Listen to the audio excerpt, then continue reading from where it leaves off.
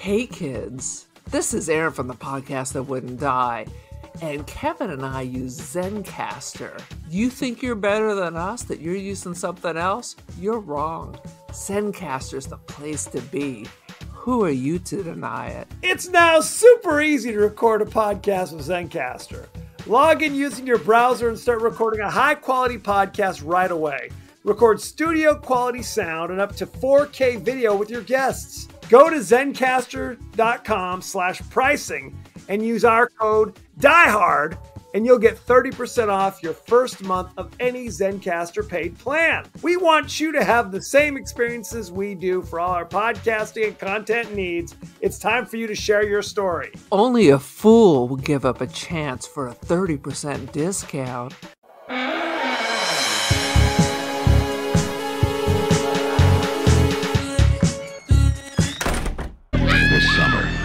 Planning to go camping, don't. If you're looking forward to midnight swims, don't. Sneak on back to the campsite. Get some matches. Build us a hot fire. Don't be long. And if you're thinking about being with someone where no one can see you, don't. Because this summer, a legend of terror isn't just a campfire story anymore. Welcome to the latest episode of the podcast that wouldn't die. I'm your host, Kevin. With me, as always, is Erin. Hello. This week on the podcast that wouldn't die, we discuss the horror classic, The Burning, starring Jason Alexander, Fisher Stevens, uh, Holly Hunter, if and a blink and you'll miss her performance. Uh, Totally missed her. Yeah. Totally missed her. it's a missing situation in in a movie co-written by Harvey Weinstein and produced the first movie produced by Miramax. Good times. Each week in the podcast that wouldn't die, we discuss guilty pleasures and forgotten classics of the horror and sci-fi genre with a comedic twist. Erin, what's the latest? How you doing? Well, a couple of things. One, I knew we were recording today, so I took uh I bought some Walmart half caff uh pods for, for my Keurig, which I never use, figuring Good. that'd be just enough to put it over the edge. But now I've self-diagnosed myself with ADHD. So what happened was I drank the coffee and immediately felt exhausted. Like I should just go to bed. So it's anti-coffee, is what you're saying. You've been drugged. apparently well they say that if you one way to find out if you're adhd is if you have a res, reverse uh, coffee thing like coffee calms you Like it's Ritalin, is what you're saying. Ritalin only works. i took some some old roy ritalin It's always Old Roy at Walmart. I love it. Old Roy brand. It, it calmed me so i almost just like slumped over while driving home and killed a family of 10 well, that's good to know. Almost. Almost. almost they Good just don't realize it they, they don't realize it. I mean, just to be calm, I did light some incense. I decided instead of just collecting incense, like it's going to go up in value, I should burn some of it. Uh, so this flavor, it says patchouli leaves, and it smelled good in the box, but it smell it smells like a honey baked ham if you were to set fire to it, Interesting. like burnt sugar and pork. That's the flavor of this. So I don't know that if actually it's sounds Buddhist pretty jamming for me. I'll take a burned sugar and pork sandwich anytime. I Set mean. I don't really like all this vanilla and peach, all the baby prostitute perfume that, that the high school kids wear. I mean, if I had a cho- choice over pork or strawberry vanilla, I guess pork's the way to do it. Pork's not bad. Pork's not bad. Now, Grant, I, I don't know if I like the the imagery of baby prostitute vanilla. That's Oh, I should. I shouldn't say that out loud in class. I'm not I- sure you should I shouldn't think it. scream across the room. I already told you not to spray your baby prostitute perfume in class. That's that's not okay. Eh, Definitely not, and definitely not to special needs children. This is very upsetting, Erin. Th- This image that you're painting. Good lord, I'm gonna call. They're not so special. They don't have a lot of needs. You're not Just special. bad- Just bad taste. If it's coming from the Bath and Body Work, unless it's a seasonal candle, put it down. I had a student. I was very conflicted. This is a couple years ago. The student was trying to cut in line during lunch, and the lunch lady said, What are you? You think you're special or something? And he was very upset because, yes, he does think he's special. His Like parents his mom told him. says he's very special. Yes. He and he wa- he was indignant. He was telling me, "Yes, I am special. How dare she?" kind of thing. And I'm just like sitting there going, "Do I tell Maybe she just wanted to confirm. right? Do you think you're Oh, you are? Okay, we'll go right ahead. Plus, you can order from the secret menu for only the special uh, people. hundred. It's like it's like an In-N-Out burger. But it, my question is, as a teacher, when a kid is insane, I mean that's a ridiculous. Yes, I should be able to cut in line. When a kid is insane, Do what you tell them- do? I don't know what's which answer is going to get me into more trouble. Do I tell the kid, "You're right, you are special"? Cut to the front of the line, or do you say, "No, you're not special, special child"? I don't know what you, what the answer is. First of all, I say zip your jib jab and go to the back of the line. And then if he, he argues his specialness, I'm like, you are special. And Makari's mo- uh, mother thinks he's special. Uh, Cindy Lou Who's mom thinks she's special. They're all special. They're all special, and they all have to Isn't, wait. in line. isn't there a Mr. Rogers song for that? There must be. No, no, no. That's You're your body special. special. You're your body special. special, and so is mine. There's no way that was a Mr. Rogers song. Your body's special, and so is mine. This is very yes, upsetting. it's called "Don't Let Uncle Wiggly Fingers at It." That's the name of the song. Oh, Oh. good lord! But was- really, read between the lines. That Your was body's B-side. special. Interesting. It sounds better Anyway. than a temple. Quit defiling your temple. Quit quit defiling your you, temple. you dirty whore. Sweet Jesus. Anyway, good lord. Why don't we get this train back on the tracks? And Erin, give us your 30, 30 second synopsis of the burning sensation. The burning sensation is what happened after a group of 20 something Jewish singles meet at a, at a summer camp for people in their late 20s, early 30s, uh, until bad things happen. Somehow there are other children, but they must be watched by other people because this is just a camp, as I said, for 20, 30 year old. It's a mixer so you can marry your own religion.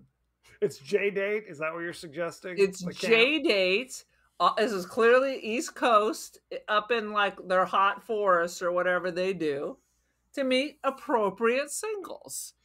Except there's like an angry guy maybe he got the angry itch so he worked his way from uh, slashing a single prostitute then decided to just you know let's go back to camp. Like Rodney Dangerfield went back to college, Cropsy goes back to camp Back and just wants to kill the young people, but not that young, is what you're trying to but say. not that young. Young in comparison, like they're too young for AARP. Not so young that they young. should still be hanging out at a summer camp all summer long. And quite frankly, half of them are dressed like they're going on job interviews. this was a question I had. I went to camp and nobody was wearing button down shirts and dockers. Did well, yes, but here's here's my question to you: the idea of summer camp existed in California, See? but I remember like I'd never heard the term sleepaway camp in my life. that's got to be East Coast terminology. I think that's it's not East- right. California terminology. I went to a Girl Scout camp. Right, but the, I I think These the camps idea, I thought were like Boy Scout, Girl Scout. Um, then there were campfire girls. right, They all but, had but like a little camp. by definition, in my mind, all camp is sleepaway. All Right, camp unless is it's a day going camp. Is that a thing? There's day camps. There's day day camp? camps where I live. This is where the Baptists come on and grab your children during the summer and offer free daycare with a dose of Jesus. And you're like, oh, thank God. I don't If care it's what free. religion. It's If it's- free. They're going to feed them, and I don't have to worry for a week. Indoctrinate away. Absolutely. Um, but so this is actually this is based upon an actual legend that was famous in kind of the New York area, the Right. legend of Cropsey. Like He's, would- he's the, the East Coast boogeyman. but I guess it's based upon a real serial killer who lived in that time in that in that area in like late 70s early 80s and people were telling campfire stories about a real like if we told serial killers about the zodiac killer like a, uh, a campfire story about the zodiac How killer. do we know we haven't? I went to camp and there was always the story of the dude with the hook. that's and not the zodiac a- killer Well, do we know? know. We haven't caught the Zodiac he's killer. still out there he's out there He's today. still out there with his hook and his gamey leg. Correct. So evidently, evidently, the filmmakers were aware of the legend that was told at campfires all over New York and turned that into this movie. That's the that's why the caretaker's called Cropsey, which is not a real name as far as I know, but that's the name of the legend. Correct. So there you go. So there you go. I go. don't know what that is. Sounds like somebody who has a crop. Maybe they were a jockey. But speaking of, serial killers, I, I once dated someone internationally, and he said before you start your Google searches, there is a serial killer with my exact name. And but he's like, fif- no, 15 years uh, older. and social security number. Yeah, it's it's me and the same f- picture. Um, here's okay. So had it's a you ever coincidence. just a bizarre coincidence? Had you ever seen this movie or even heard of this movie? Never heard of it. I, I only know the story of Cropsey because I used to always listen to uh, My Favorite Murderer. And I remember them talking about the documentary. Correct. There was a documentary that came out a few years ago that talked about the legend and the the, the reality behind it. But there were certain there were certain slasher movies that came out in the early 80s that I think on some level were just kind of regional. You know what I mean? Like Sleepaway Camp is another one that I'd never heard of. Uh, the Burning, Madman. These were all movies that I heard about as an adult that Right. had come out in the early 80s that I think didn't make their way to Southern California, but maybe I'm I'm mistaken. But this was one Or of those straight to video. You can't keep up with this shit. Well, this is before straight to video. This is before straight to video. Yeah, this is like if the movie existed, it was in theaters at this time. But- Is this back in the day when you had the line down the middle of your TV and the two sides were wrong, but you still watched the movie that way? Are you- yes, you'd be on the what the UHF or the VHF with the, the you- bunny. And you try to get it so you can get HBO, even though your mom has canceled it. But it's like it's got like a wavy line in the center. Okay. Well, newsflash: young young boys were not trying to get HBO. We were Yeah, trying to get that's true. something a little a little A spicier. little you will. spicier. No The question. Spice Channel. The Skinamax. which I'm not even sure existed, but I'm willing to give it a chance. Um, at least at that time. Anywho, Uh-huh. I had I had this is my first viewing as well. I'd heard of it like lately within the last five years, but I, I Who recommended it? no one recommended it. No one recommended it. But I, I travel, as you know, when you become a horror podcaster, you start rubbing elbows with other horror podcasters or other social media types. And there are Well, I thought you meant and up. other social misfits. I thought and that's other what you were going and to other freaks of science. Absolutely. And also Cropsey Jr. I met him on a cruise to Alaska. Correct. Cro- our, my good friend Cropsy Jr. Sounds like a Saturday morning Saturday morning cartoon. It Um, still could and, be. and also watching Joe Bob Briggs the last five years, he's dredging the swamp as well to finding all, all, all sorts of crazy movies. Interestingly enough, Joe Bob just had a, a marathon in August, the night marathon. And two of the movies he did in the six movie marathon are movies we've done in the last like month.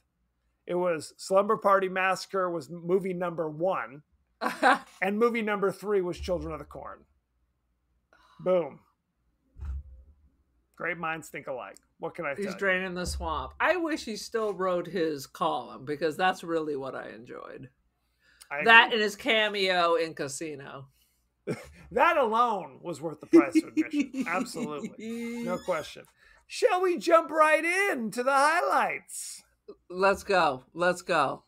How about uh, when they, when they they're pranking old uh, Freddy Krueger with uh, a skull from where and candles and worms on it, and oh yeah, there's like a fifty gallon drum of gasoline right next to the candle. Whoops! That's the, have- going to be the funniest prank of all. We have to talk about this. So, Cropsy is the caretaker of this summer camp. I'm not sure what that means, but they Yeah, we didn't have any damn caretaker. We were the caretakers. We all Right, you- like take a shit. You had camp counselors. You may have the, And the camp director. You might have staff. Yeah. I don't know what the caretaker does. All right, this isn't the Overlook Hotel in The Shining. um, but evidently, he's kind of a dick, is how they describe him. He's mean to the kids. But if he's that mean, why wouldn't he be fired? If he's like, if he's physically abusive, I, I know it's 1975 or whenever this this part is supposed to take place. He's just allowed to to molest the children until they burn they're him probably alive. paying um a dollar a, a dollar a day, and you could sleep on a dirty old mat in the gasoline warehouse. he was yes he he's sleeping in ostensibly the tool shed where there are huge drums of just gasoline and their plan the the disgruntled camp goers it's hard to know who's a counselor and who's you know a kid because they're all they all look the same goddamn age so it's hard to know. But their plan is we're gonna prank him. And it's not we're gonna lie to bag of shit in front of his door circa can't buy me love. No no no. They go and find a skull a human skull. We don't know where from. I mean are they I grave assume robbers? the next lake over, Camp Crystal Lake. That would make a hell of a lot more sense. They put the the the bloody skull in his next to his bed with with candles and worms and all sorts of shit. And they wake up Cropsy, who already looks kind of jacked. He looks a little slothy Yeah, from the Goonies. he's seen some things from He's from Jump. things. He's, right, he looks borderline from Jump. He sees the burning skull, and rather than running from the room, he grabs it and dumps it on his on his mattress, which has been dipped in turpentine or something, because it immediately goes up in flames. He's in flames. Right, Yeah, totally. And the kids are like, "Oh damn, we should go get him." But of course, he is literally he is in an incinerator at this stage of the game. The whole place has gone up. literally, they just watched him run on fire into the lake, and they're like, "Dude, we got to get out of here." If it was now time, they would just be recording it and posting it on the TikTok. But it was confusing to me because traditional horror movies that have this kind of setup, like the body, like, and we never saw him again. You know what I mean? It's like he runs, Uh-huh. falls into the swamp. Five years later, he rises from the swamp. But that's not what happens in this movie. In this movie, it is smash cut to there's an ambulance taking him to the emergency. We basically go through his like physical therapy. I mean, we see Cropsy recovering from his wounds, I guess. We have people actually having full conversations with him. Yes. He's so burned, he's caked. And then, like, some free, there are all these voices. The skin graft isn't taking. So, what does that mean? That he's just like muscle? He looks like one of Yeah. those uh, Open wounds. anatomy models. Correct. And then they're discussing you can't be angry with the children. It was an accident. This Yeah, is all right. voiceover. Five years right. later, he's being re- released from the burn unit, I guess, uh, at the local hospital. And Oh, so voiceover. burned, he's cooked. That's what they said. Well, because what I was it? I can't An read my own handwriting. An orderly brings some dude, like his first day, a young internist doctor, first day on the job. You got to check this shit out. Drags him in there to say, "Look at this. You you will never forget the day you saw this freak." And then, of course, you see the hand come out, Cropsy's ha- with literally just opened like wounds. It's like we have no bandages. You we can't have no do anything. bandages, and God forbid you're you're in the burn unit all the time. God forbid a, a nurse or orderly has ever been touched by a patient. It Yes. was like it was like he'd flown out, fallen out of the ceiling, and you had no idea he was there. Ah! Ah! Oh my God! Did anyone Really? come in uh, after the screaming started? Well, Cropsey should have been the one screaming because he has Exactly. burns all over his entire body.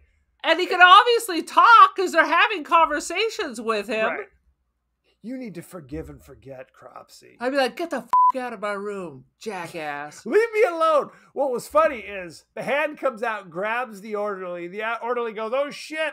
The doctor just goes like, "I'm out, deuces." He just walks out the door. Leave. He's Who like, knows "Later." what happens there? Good. He's like, "I'm going to become a podiatrist." I'm out. I am out of this shit. Smash cut to five years later. Cropsey's like wearing like a trench coat and like a fedora. He's like the invisible man. He's got like a scarf wrapped around him and big old goggles.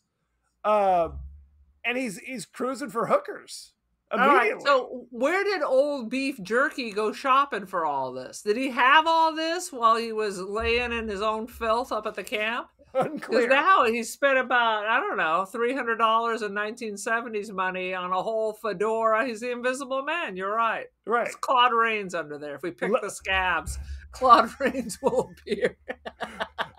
Leather isotoner gloves on. I mean, every ounce Only of the body. finest. Uh, no question. No question.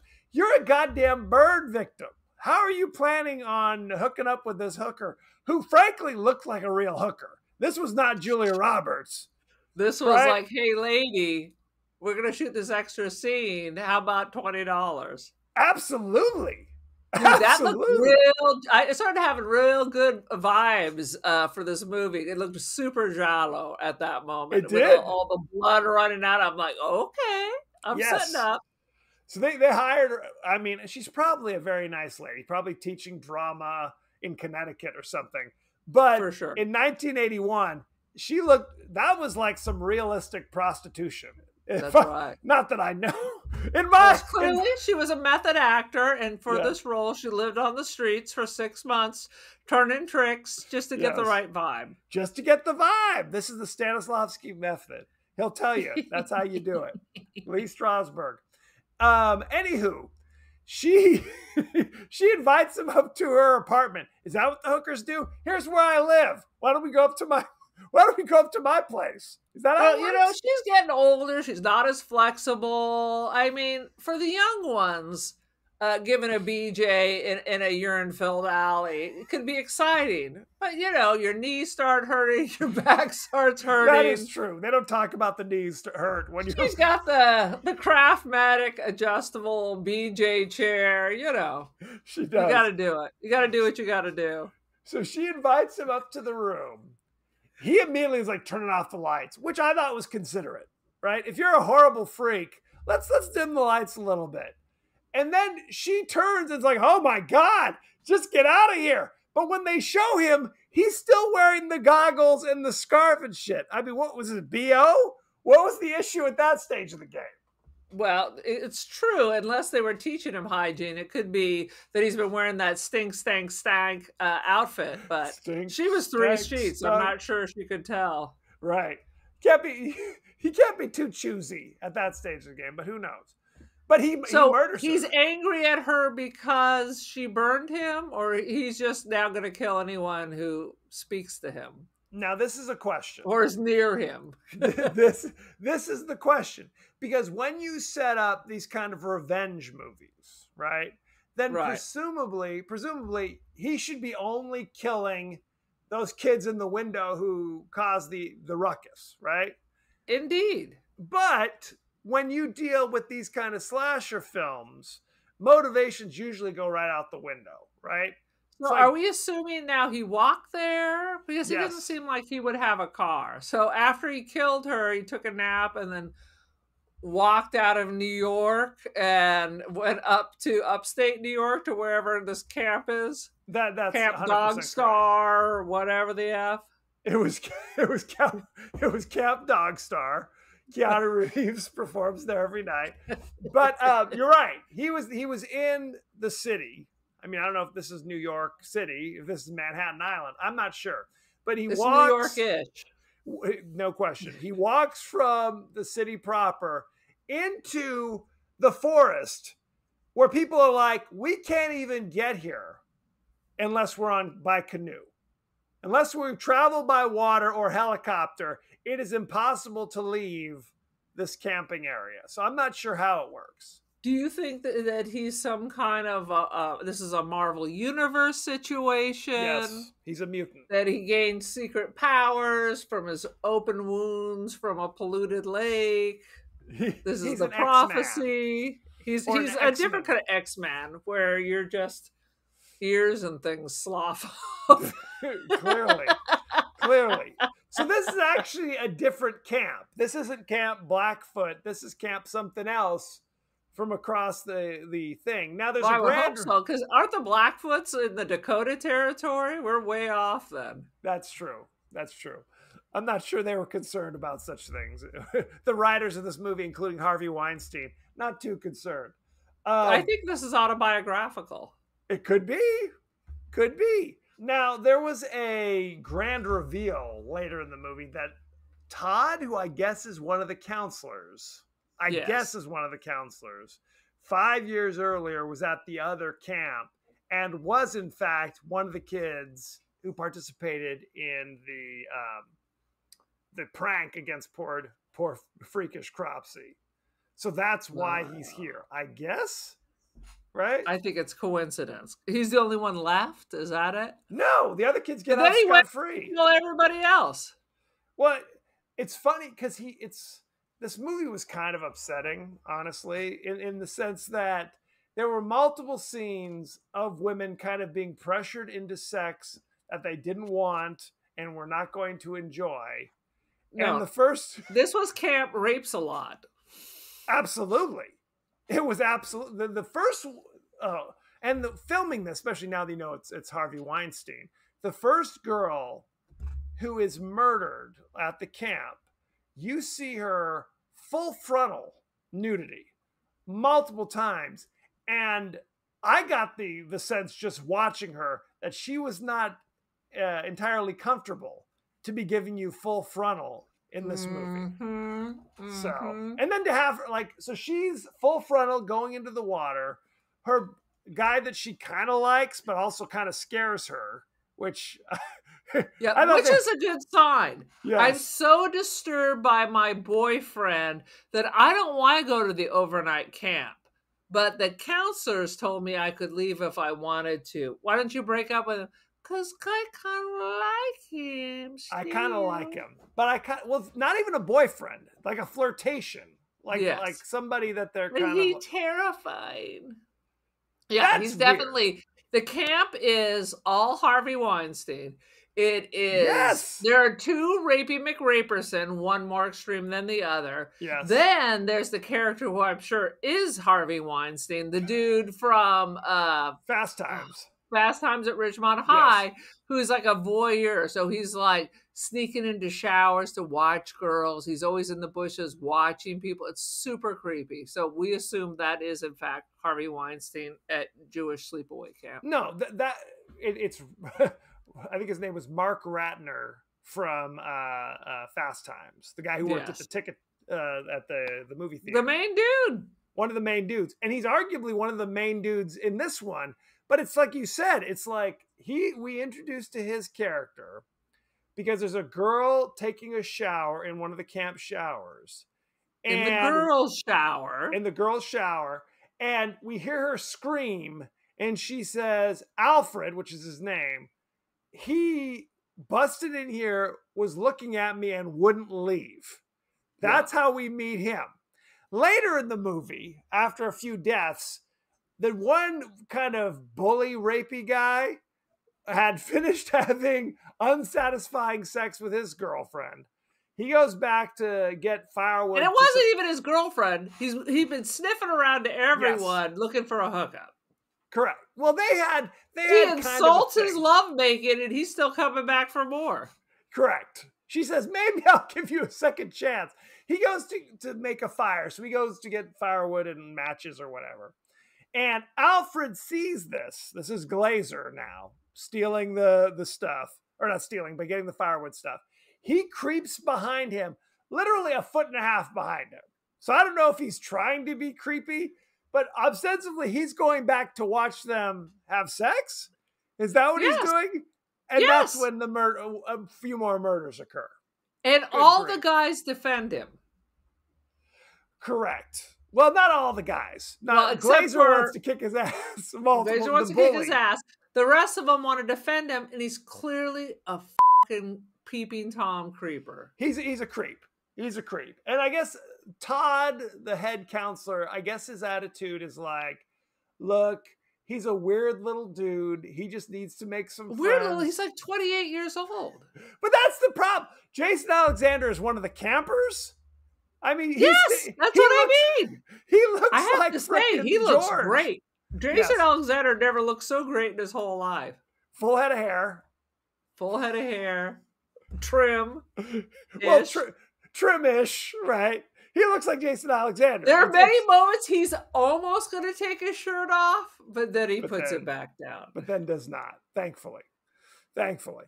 So the campers start dropping like flies. Well, okay, we have to set this up. So there's the camp, but then there's the older campers will go on a three day canoe camping trip with very little adult supervision because it's hard to know are the counselors supposed to be adults or just older kids or what because everyone looks the same goddamn age so it's hard to know what's happening jump in Yeah. Yes. No, that's what I Yes. said. It, it is clearly mixer to go find the person for you to get married, you know, to keep the faith together. Could These be. people are way too old. They're clearly not counselors because they are never with children. Even when they claim to be with with campers, the campers are their age. Right. Right. Well, I, I So it think, makes no goddamn sense. I think Todd and his girlfriend are supposed to be the counselors, and everybody else are supposed to be campers. Is what I think. But it's hard So to tell. George Costanza, mother Yes. put him on a bus for camp. Is that what I'm hearing That's- correctly? yes, correct. he drove his Trans Am to camp. Well, and the other thing I, I found is that in my research, I discovered that the guy who plays Glazer, who's the I, pseudo muscly kind of bully guy, Right. is in fact older than the the counselors. Oh, so he's supposed sure. to be a camper, but he is in fact older. Than, so this is the craziest shit. It's hard to know. Look, what the, the age that you typically go to camp, and you can correct me, is usually like maybe through middle school. No, no, hmm? I went in high school, I think. Did no, you? maybe it was middle school. They have it for high school, but you're kind of once you get to that age, you are like a counselor in training because the actual counselors were people in college. Right. You, when you're a counselor, you're getting paid. Right. I'm coming. It's not a volunteer thing. I'm coming here. You're paying me to spend time with these to, to babysit these kids. That's the idea. Okay. Yeah. So, but I, I figure when, by the time you get to high school, you should be like, I, I don't. You don't have to ship me off somewhere. So because you're at work all day and I'm going to be home smoking meth or something, right? I think it's a fun thing. I think it's like, I mean, in California, you got the nature all around you. When you live in the big city, I think you have like they like okay, ba- this whole thing's gonna be based on Seinfeld. Camp buddies, you go that you see every year.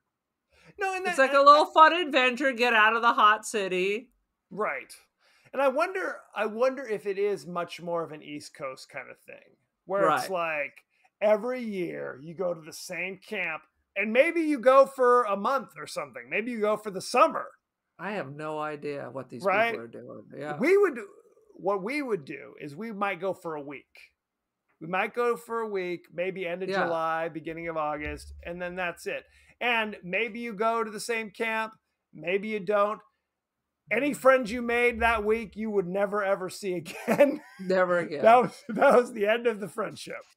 Yeah. I went to So- Camp Nawakwa and I can't remember the name. of the other camp I went to. I went to Pathfinder Ranch through the the boys club. Like you signed Okay. up at the boys club and they I don't know if they had a connection with the Pathfinder Ranch or whatever. Is that for like the troubled teens? It, it like sounds like it would be. bull- or it sounds like bulldogs and Christian thing. parolees, or Right. Or it's yes. To my knowledge, none of that was true, but who's to say? Who's to say? So anyway, the massacres begin. Cropsy is out killing people, and there's a particularly interesting scene where what's her name? Karen, who was almost date raped by her creepy flirtation, she's murdered, and the next morning she doesn't show up again. So they think she paddled away back to camp, but took all the canoes with her. Or didn't know what she was doing and let all the canoes go. Some the water was still. This wasn't like they were Right. on the ocean. Where, where are they going to float to? Right. It's not It's white not- water rafting. It's it was like glass still. Correct. Correct. It's it's it's not the Colorado River. But oh, whatever the case may be. So now we're we're amping up the the drama because now they're kind of trapped. At one point, somebody goes, "Why don't we just walk back?" Do you see how thick that forest is? We can't possibly. Where are they? The. Amazon? Could be, right? I, I don't a- know about you, but our Please. camp was not like miles from civilization. No. It was like right down the road from Hemet or something. Well, I mean, it's in the mountains. Uh, the camp I went to was in the mountains. Did So, you I have to be helicoptered in? There were- or yes, were there 100%. villagers? No, they parachute you parachuted in. Right, like commandos behind enemy lines. And then it was just pour, parkour across the top of you, the you trees. did absolutely so they rather than risk walking through the forest because again the question is it's impossible to reach by land unless you're cropsy because cropsy horrendous burn victim and imagine going through a dense forest just with normal skin ow that would kind of hurt a little bit now imagine doing that where you're just an open wound wandering through the forest getting hit by pine What about needles all the scar tissue? I'm assuming you got like chicken front arms. You're you don't have the flexibility and stretch if you've burned down to the muscle on every inch of your body. Well, and the other thing is when they showed It's like very athletic work. It- you're absolutely right. When they showed Cropsy earlier, he did not seem like some gigantic behemoth. No. He just seemed like a normal dude. But evidently, with with the with all the surgery he had, they they they added some uh, you know optional things to his body. They turned him to a cyborg or some sort. Now he's superhumanly huge and superhumanly strong. So that's good. That's helpful. They gave him some some of the monkey shine serum into him and turned him into a Monkey shines. made him made him much stronger. I don't know. And he went on and he's in the Ethernet and now he lives entirely on X. Absolutely. So they It's they, Elon Musk. they fashion a a raft using just driftwood, evidently, because there's no there's no evidence that they're chopping down trees or any shit. Unless I missed it. Did you see anything like that? It was just gathering I didn't see any of the, the felon of the trees, but apparently this was a very great camp because they were able to whip that together and put like 12 people on it. and they did. Boom. They said they said paddle back and Why don't they just help. make two and then we just all leave? impossible. There's only so much driftwood to be found, evidently. Um, and this revealed the most bizarre and outlandish moment where they're paddling the five, I don't know how old they're supposed to be, 20 year olds, paddling back towards the camp and they see the lone canoe. Oh, there's a canoe. We should just get on there. And as they get close, Cropsy was evidently waiting in the canoe on the off chance that they decided to paddle. On the off chance they decided to build a raft and then paddle hours because they're exhausted. Uh, it's like they've been out out to sea for six months. They like, paddle. Shut the f- off. I'm going to leave you on the shore. Of no So- tolerance. So Cropsy was laying in wait in this canoe, jumps up with some shears that he had with him, just starts just starts. It's you know- ridiculous. Oh, There's like God. 15 people, and they all just sat there in line waiting to be individually. I mean, you could have rolled off into the water. Let's see if Cropsy can swim after you. Is he standing in the canoe? He's standing in the canoe and is managing to stab everyone from the canoe, as far as I could tell. Yes, correct. He has like I don't know, like a, the, the the reach of a condor. I don't know if his arms stretch out so he could reach all the way across, or what's happening. well, but everybody waited patiently Waited until they could be murdered. Correct. I, I like the scene where young Fisher Stevens is standing there with his hand, his fake plasticky hand, going, "Whoa, it's Cropsy!" And then you see the slow motion of the the shears just snip his fingers. Ah! So poor Fisher Stevens. It's a sad situation. I love Fisher Stevens. I have to tell you, he always brings his best. Fisher. There was a period in the mid '80s you could not throw a rock without hitting Fisher Stevens at least. Dude, he At was in twice. everything. He was in one of my favorite movies, Reversal of Fortune. I've seen He that movie was. 10,000 times. He was in every fucking thing. He, he was, was. always solid. He was everywhere. I don't I'm want a to go through his fan. entire IMDb, but, But he we was in. He was in My Science Project. If you remember that one, he was in the Flamingo Kid with Matt No. Dillon. He was Never always kind it. of the wisecracking buddy. It was Right. his job. He and it- what he did, he did well. That's all I'm saying. Fisher Stevens. Agreed. Do you know Agreed. his real name is Stephen Fisher? I did because last night I was Googling all his business. I didn't know that. Evidently, there was already multiple Steve, Steven, Steve O. Fishers that were part of the union. So he had to go, he flipped it and became Fisher Stevens. The old So switcheroo. Ye old switcheroo. So all those dudes wiped out. Very upsetting. Which is, it's kind of a good idea because then, in the sense, the other campers who are still waiting think that we just have to wait and help is on the way. But they they are not. Help is not on the way. I'm Help to not say. way. Um, another notable death that I found kind of fascinating was the horrible sex scene uh, between Glazer and his girl, his girl, his gal pal, whatever she was, uh, Sally. Where you hear, I, and I, the way I do it is I have the the subtitles on there, right? Oh, so no. where it's because it's panning over through the forest and it's a lot of grunting and oh hang on wait a second. Whoa slow down. Oh uh, grunt. It was not a pretty picture. It didn't sound great. She was like, "Is this it?" I thought for sure it was going to be one of those serial killer things. right. being a sassy woman, but she's like, "Nah." not not good enough. She said not good enough damn it.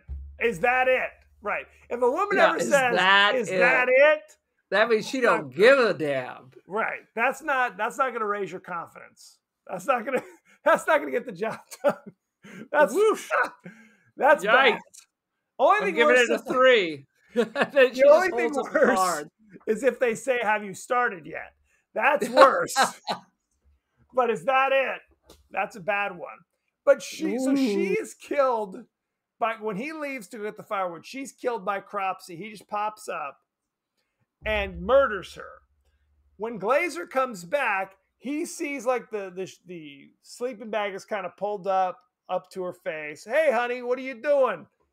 Uh, how are you sleeping? And he pulls the sleeping bag back, and then immediately the shears come up and skewer him, and he's being Which is ridiculous. You didn't notice the sleeping bag is stretched so because there's now there's like an old dude in a fedora hiding Correct. under there. This isn't Freddy Krueger coming in the dreams. This is supposed to be like I don't notice that my 90 pound girlfriend is now suddenly this huge mass.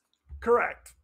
Like you would, and this is one of those scenes that drives me crazy, where it's like this is meant to fool the audience, but would not fool actual people who were there.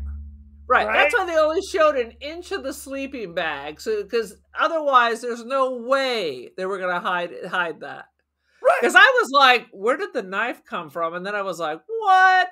Right. It made absolutely no sense. You're telling me a six foot five, 300 pound old prospector was hiding under the sleeping bag with your girlfriend That and you was an didn't old fucking notice? prospector. Is that what you're saying, telling me? Sweet Jesus. Because you're right. And again, this guy is the big bully. The muscly bully is literally almost laying on top of her, moving the sleeping bag. Hey, Sally, are you sleeping? And then the shears come out and picks him up and carry and skewers him to a tree. yeah. He's an X Men. I told you. He's we'll find X-Men. out. It's all part of the Marvel universe. It'll be Right. part of the next uh, Deadpool. But what's what's funny about this is how many times somebody keeps coming back to this area and getting killed. So Sally's there asleep, gets killed. Glazer comes back, is killed. Frickin' Alfred, who witnesses the second murder, runs back, gets Todd. Todd, you got to see this shit. Todd goes there. Oh my God, there is some murders. Cropsy comes out again. He's like, I'm just chill. Just keep bringing them to me. I don't even have to get off my couch. But of course, Todd doesn't get killed. He just gets a little scratch. And they just left him. Everybody left else him. is nailed to a tree like Jesus. Uh, he has a little nick on his ear and he's left to be. Correct. Correct. Now, there are people who survive because the whole camp gets on the, the raft, which is drifted back, and there are just slice and dice corpses on it. They just kind of push the bodies out of the way, I guess. Everybody's very sad. And they everyone else like, let us get on the, the raft. Don't you think you'd be afraid? The last people who got on this raft were murdered. Now we're getting on the raft? Well, clearly they're not very smart, but they Well. do know that someone's slicing and dicing on the land, so maybe they think this is their chance, This is their chance. Now they leave Todd behind, the head which counselor. makes no sense. Oh, 'Cause because he's got to find Jackass Joe or whatever. Correct. The only reason I remember Alfred's name is because in the final 10 minutes of this movie, Todd says it uh, no less than 400 times. Alfred? Alfred? Is that you, Alfred? And I always love the kind of quiet, like shout, hey, Alfred. That doesn't, I realize, watch this, it makes no goddamn sense because you don't know where anybody is. So you- No. you, You're either in have to be in the woods. you either have to be absolutely silent and don't call anybody's name or just shout it to the wind because who gives a shit cropsy could be there alfred could be there you have a 50-50 chance of running into anybody anyway so And Cropsy don't gives a damn.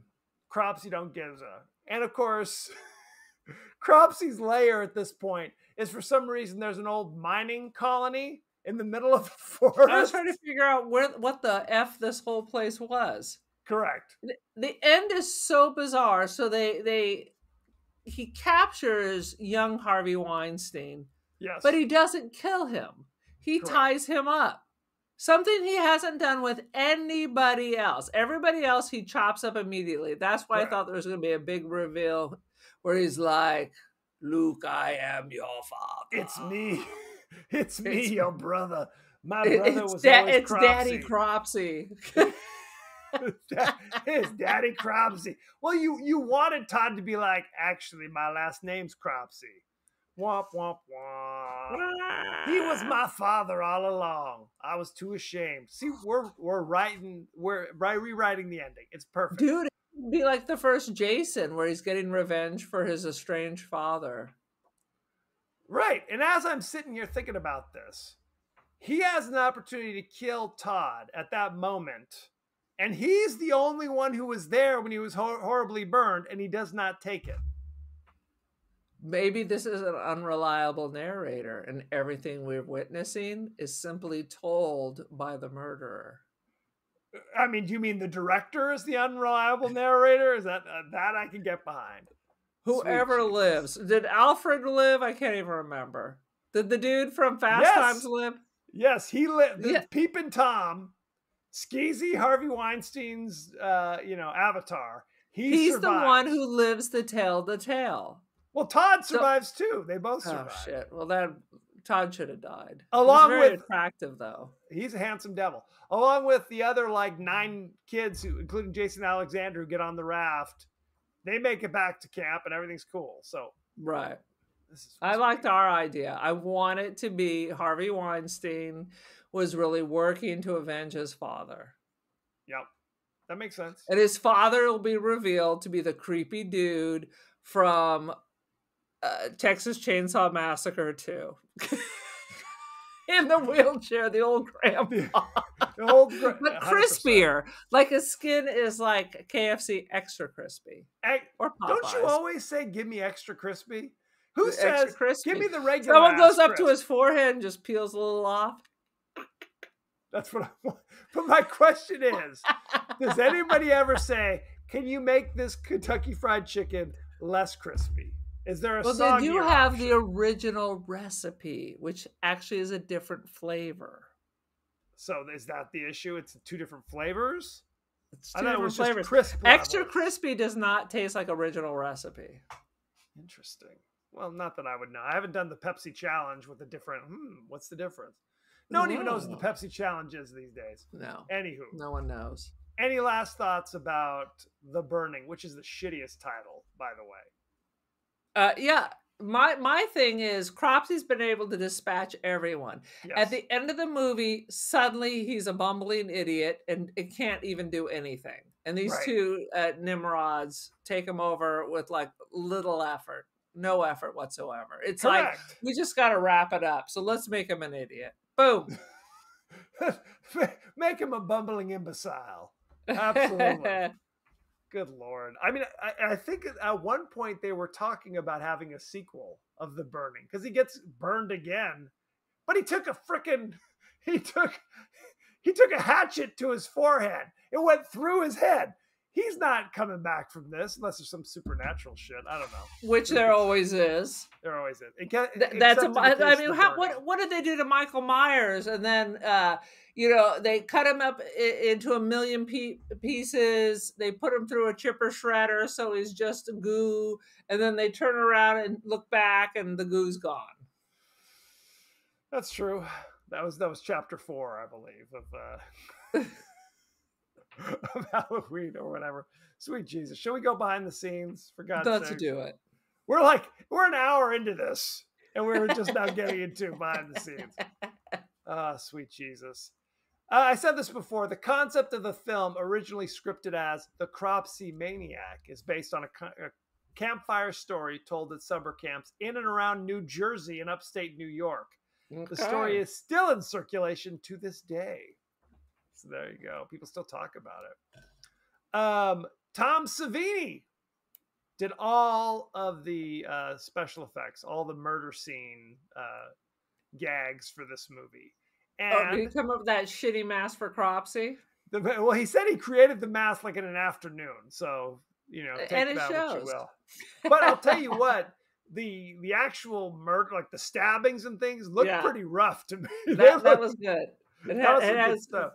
It was very giallo. I like that. But the was. mask was bullshit. He Let's tr- not brag about it. All right. No. No, no, no, no, no.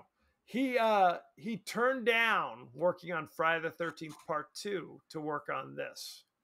Hmm, Um, that doesn't seem like a good choice. probably not the best choice. Now he says he did that for a couple of reasons. Number one, he didn't understand how Jason is now alive and adult and on the rampage in the second one. That didn't make Doesn't any matter. sense to him. And But this made sense. furthermore, he liked the script better of the bird. All right. Boom. Uh, the film's composer was originally offered a percentage of whatever profits the film made, but he decided to opt in for a fee as he thought the film had no chance of being successful. He, he opted in for money, cash money. Just give me some money. However, the film ended up being the biggest grossing horror movie in Japan. So even though even though Hey. it sucked in the US, and made a lot of money in Japan. So what are you gonna do? All right. Big in Japan. Big in Big in Japan. Japan. Tom Big in Savini Japan. was not particularly happy with Cropsy's burn makeup as he was given only three days to work on it. Womp womp. Hmm. Um, the wardrobe of the film is mostly the actual wardrobe of the cast. Makes sense. It is very Sears catalog of the time. In an interview with Total Film Magazine, Holly Hunter had the following to say about her screen debut. Which one was Holly Hunter? She was called Sophia and she had zero lines. They referred Which to her a which couple times. death did she have? Did not have a death. Was not killed. Oh, she's just rando in the background. Rando in the background. All right. And she said, Well, look, I got paid more than I ever could have imagined on the burning. I was making over a thousand dollars a week, which was incredible. I could make my rent rent. I didn't have to wait tables for a while. I got all these new friends, and I was kind of a glorified extra. And I got my Screen Actors Guild card, so it was fantastic. Hey, right Boom. on. I kept waiting for to hear that twangy voice, so that's how I missed her. And that might have been why she didn't have any lines. You know what I mean? So it's like because it's supposed to be like New York, New Jersey, and there's Holly Hunter with her crazy accent. Well, people do live in the area, like when they move from other areas, Not like true. in California. Not true at at all. It's not allowed. Um, actors had trouble holding the garden shears to the liking of the director. So in a lot of the scenes, Yeah, because it's in a no, it's a total nonsense way of killing someone. Ah, ah. right. Uh, so the director played the killer himself most of the time. So Only. I could do it correctly. only I could do it. These um, fools, fools. Let's see. Feature film debut of Jason Alexander, Fisher Stevens, and Holly Hunter. Jason Alexander would make very few returns to the horror genre after this. And this is Holly Hunter's only ever appearance in a horror production, despite her appearance in a thriller about killers, Copycat, if you remember that one. Maybe. So, Now, and we, did we discuss that Fisher Stevens was once married to Michelle Pfeiffer? uh, I think you've mentioned that on a few occasions. All right. So there you go. Fisher Stevens doing his thing. I think that's uh, all that we need to know. We talked about I that think the that's actor- plenty. Right. The actor who played Glazer was actually older than the counselors, which we talked about. So, such is life. Let's It was talk- like the casting of Grease where everybody's 40, but they're in high school. right. So all the teachers had to be 70. Yes. Let's talk about the cast and crew. Uh, I thought Brian that's what we were doing. No, we were doing behind the scenes. This is different. Brian Matthews played Todd. He's known for The Burning. He was in one episode of Hull High in 1990. I don't even know what that is. Never heard of it. He was in one episode of Riptide in 1986. I have heard of that. That's where Heard, I've heard of it, never seen it. private detectives who live in a boat, something along those lines. And he was in 10 episodes as Brother Francis on Days of Our Lives from 1985 to 1986. Like sands through the hourglass. Leah Ayres played Michelle. She was the uh, like female camp counselor. Most famously, I recognized her immediately. She was in Bloodsport with Jean Claude Van Damme in 1988. Bless her. Uh, she was the uh, um, reporter trying to get behind the scenes in the Bloodsport, which they didn't want reporters there. So there you go. Because she was in, she was in uh, The Burning in 1981. She was in something called Eddie Macon's Run in 1983. Hmm. And she was Nurse Capobianco in All That Jazz in 1987 or 1979, I should say. So there you go. Dun, dun, I loved all that jazz. And the oh, one thing about this film jazz. is the women were all nice to each other. Usually in these man productions, there's always like the bitchy one, right. and I'm gonna sleep with your boyfriend one. They were all just nice. the girls The were men were trash. The guys were horrible on all It- sorts of it- it- levels. Rapey McRapersons. Yes. Uh, Brian Backer played Alfred, the peeping Tom. You know him from Mark Rat Ratner in Fast Times at Ridgemont High in 1982, a year later. He was the doctor in uh, Loser in 2000. Yeah, how did he get Fast Times at Ridgemont High, which was iconic at the time, from this? I can't answer that question. All right, know. continue on. In Continue on. 1987, he was in Police Academy 4, Citizens on Patrol. This movie is famous because it's the last one with Steve Guttenberg, and yet they made about four more after that. What is the Shocking. Goot doing these days? Community theater, I don't know. uh, and then, of course, in 1981, he was in The Burning. Uh, let's see. Jason Alexander played Dave, the comic relief, I guess. Um, you know him from 172 episodes as George Costanza in Seinfeld. Hundred percent. He was in. He was the voice of Hugo in The Hunchback of Notre Dame in 1996. I think that's the Disney. Really, beyond this, no one cares. He was Philip Stuckey in Pretty Woman in 1990. Do True. you remember that? Yeah. Which is a very upsetting role when you go back and watch it today, where he's smacking. I've only seen Julia part of it once. What? It's not really my type of film. You haven't seen Pretty Woman? Not all the way through. You're out of your goddamn. I have a hatred of Julia Roberts. mind. clearly, I think she's a monster. uh, that's excessive. and he was in 1993. He was in Coneheads. oh god, that was such a terrible movie. Horrible. But I did have the soundtrack. I think it was another one of those Columbia House things, but I had the soundtrack on CD because it had like some good music. I don't believe you.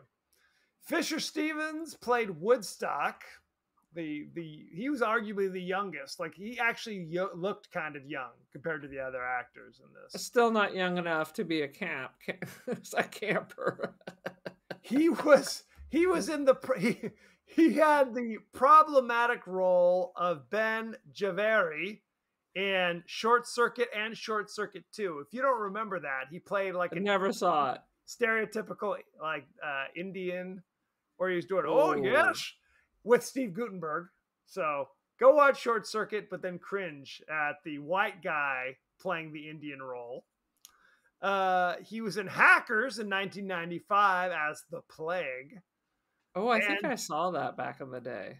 He was Iggy Koopa in 1993 Super Mario Brothers. Good lord! By the 90s, seen there's some stinkers in the in the resume for old uh, Fisher Stevens. Just go watch Reversal of Fortune and you can thank me later. Holly Hunter played Sophie. She says a glorified extra. I mean, she's basically an extra. Yeah. Uh, you know her for broadcast news in 1987. Raising Uh, Arizona. Absolutely. The piano in 1993. That was disturbing. 13 in 2003, which is very disturbing. I refuse to watch it. The Incredibles 2. She was Elastigirl. I think I saw the first one. All sorts of good stuff. The first one was actually quite good. The other one, not, Not so so much. much. Shall we go look at the ratings? Let's go. The Burning currently 77 on the tomato meter. But before you freak out, there are no top critics. So these are 13 rando critics. All right. What are the top rando people? Well- Doherty from the podcast that wouldn't die says. Pretty much. what do you think the uh, fans gave The Burning? uh 78. That is interesting. It is not 78, it is 60%. Uh, I'm not going to read all these dudes, uh, but let me just go. Alan Jones from Starburst. I cannot, I don't know who that is or what they're doing. Says Someone who works at the Starburst factory. the burning has some shock value if you're prepared to fall for all the well-worn tricks of the trade and put out of your mind every every film you've seen in the last three years. so good to know. Now, one thing I want to mention about this movie is there was another film that came that was going to come out also talking about the Cropsy legend, and it was called Mad Men, or not Mad Men, Mad Man. Mad Men is something else. Mad Man. And I was like, actually had to- really? they had to rewrite uh, the script so it did not reference Cropsy at all because this movie actually came out just before that. Also, Ooh. also this movie was written and put into development before Friday the 13th. So this was meant to be more of a Halloween um, Texas Chainsaw kind of thing. Now, it wasn't made until after those movies, uh, till after Friday the 13th, but the idea was from before that. So something to be aware of. Okay, There now I'm it. aware. Thank you. Erin, what is your rating for The Burning sensation. Now, uh, this may surprise you with all the rapey McRaperson. I just think it is s- uh, bizarre, yes, makes no sense, true. and yet I kind of liked it a little bit. Boom! Now that's a that's an M Night Shyamalan twist. What is your No, there's a twist. I am gonna give it uh three consecutive life sentences to Harvey Weinstein out of five. Reconvicted, by the way. Yeah. So three. That is actually a shocking, a shocking review coming How from about you. that? Um, Shocking, I know. I think this movie's kind of stupid and unforgettable, or stupid and forgettable, I should say. uh, it's. I mean, I've definitely seen worse. It's not a snuff film. Uh, it's not a It homemade is not a film. snuff film. Uh, I'm gonna give it 2.5 stars out of five. Um, I'm not sure I ever need to see it again.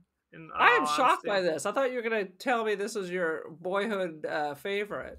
Never seen it before. Well, the main reason why I wanted to see it is because I knew it was the first film of Jason Alexander, Holly Hunter, and uh, Fisher Stevens. I thought that's kind of that's kind of fun trivia to Yeah. see them young and, and in this. But it's look, it's not. I mean, it's not meatballs with. Uh, You know what? I'm gonna say something. Here's the thing about meatballs. I know people that that swear by meatballs. They go, Bill Murray at his finest is meatballs. I think meatballs sucks.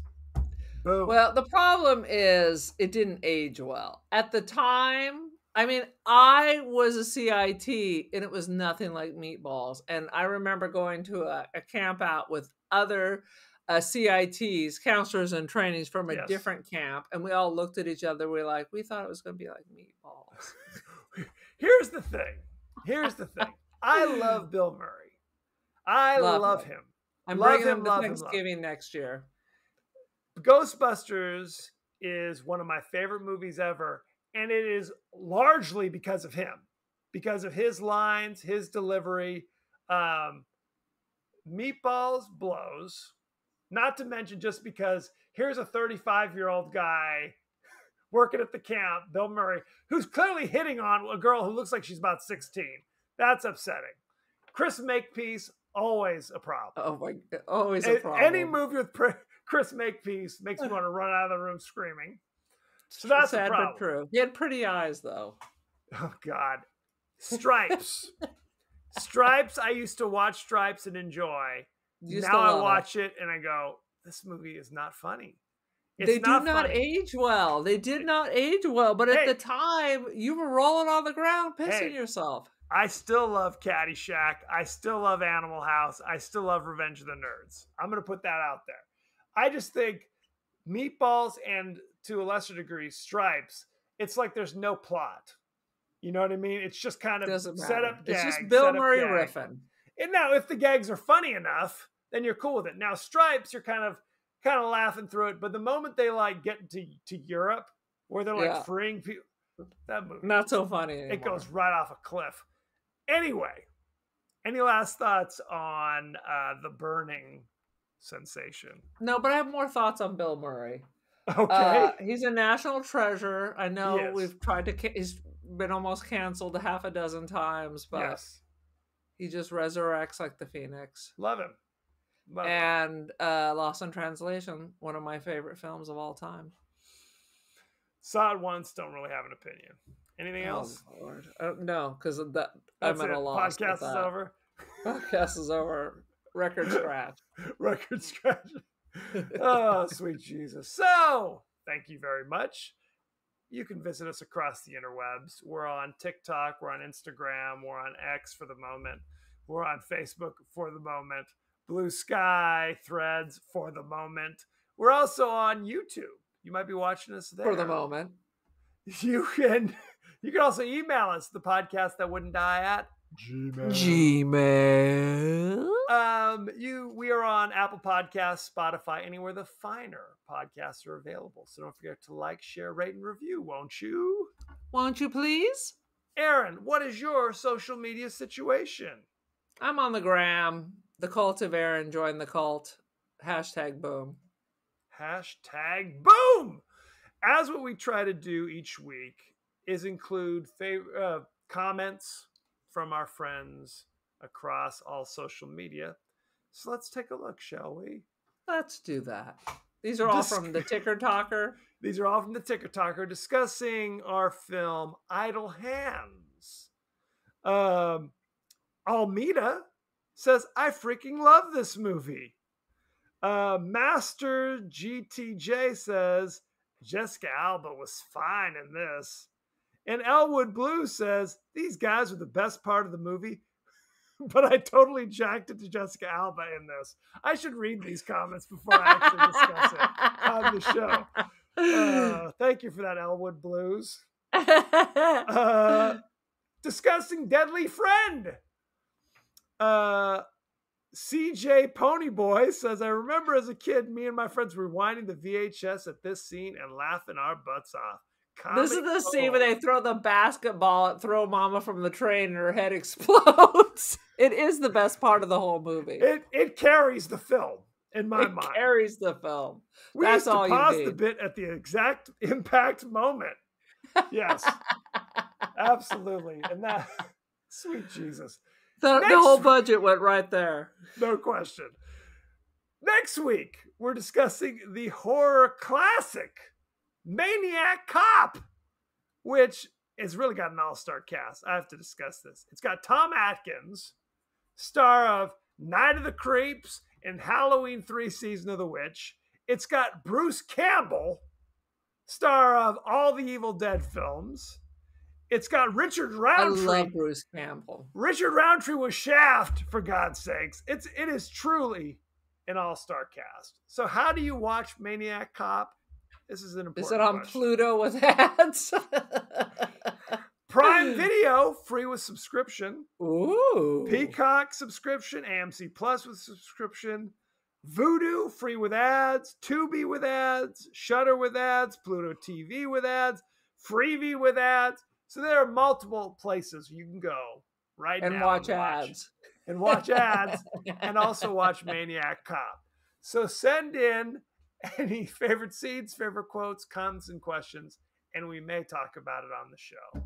So thank you very much and be well. Good day.